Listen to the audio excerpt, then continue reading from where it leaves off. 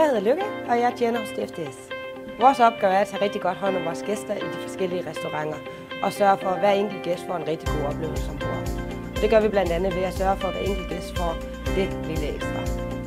Vi har fem restauranter ombord på skibet. Der er Seven Seas Buffet-restauranten den største, og der er plads til ca. 1000 gæster på en aften. Vi har også en lækker à la carte restaurant, Blue M, hvor menukortet skifter alt efter sæson. Er der gode bøffer gæster vil have, så klarer vi selvfølgelig også det i vores Explorer Steakhouse, hvor kød er i fokus. Vi har selvfølgelig også en gourmet-restaurant ombord, Marco Polo. Her bliver der virkelig kredset for maden og gæsten. Latitude er caféen, hvor der bliver serveret lette anretninger. Det er også den eneste restaurant ombord, der ikke kræver bordreservation. Den gennemsnitlige arbejdsdag for os tjenere består af ca. 11,5 times arbejde. Det kan variere meget fra sæson til sæson. Når du kommer ombord på skibet, får du udlevere arbejdsvest og slips. Du skal selv medbringe hvid skjorte, sorte bukser eller sort nederdel samt nylonstrømper og et par rigtig gode sorte sko.